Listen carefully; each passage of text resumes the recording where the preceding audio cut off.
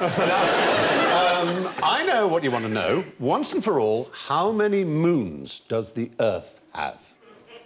Nobody knows. Three. Oh, what a pity.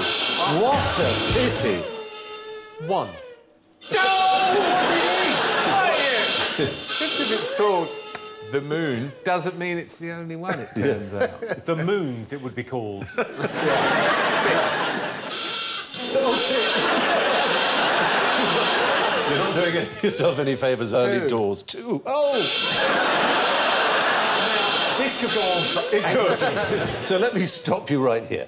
The point is, uh, in, in very, very on in the A series, we said there were two. Are you taking that back? Yes. What do you mean? Ah, this is. I this, rely on this show. This is all I know. this is the whole. This is the whole point of this round. In fact, facts are not permanent. We thought there were two, and then we said, oh no, it's either one or five. We said in the B series because we were acting on latest info that we had from the info that we had from the scientific community. Because we were acting on latest info that we had from the scientific community.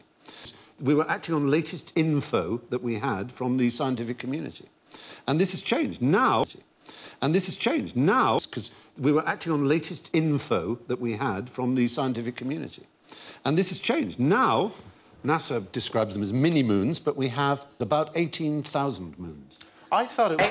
If there's so many, why haven't we noticed them before? Well, the reason is that they are actually tiny. It's only recently they've run computer simulations to show 18,000. One of those has been observed, It's been given the exciting name RH120, which or, facts don't remain stable. Things we know or think we know will be untrue. Very good. Will be untrue in a number of years' time. Appropriately, you look a bit like to do a Patrick Mexican Moore. wave. I did, a, I did a course at university called... the Shut so- up.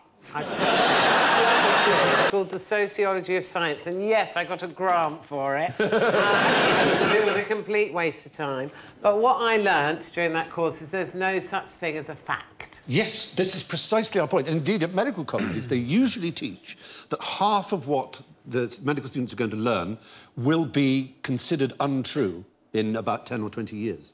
And this is known by academics as the half-life of facts. And on QI, an estimated 7% of the things I tell you this evening will be shown to be untrue in a year's time, showing the rate of decay of QI facts. And you can see there's a series A on the right, and plotted against it is, is the 10th series, J. J. And, and so, as you can see, the, the further you get away, the greater the number of untruths. of things in the first in the first yes, series are now untrue. bollocks. if that's true, yes. That's, We do talk a lot...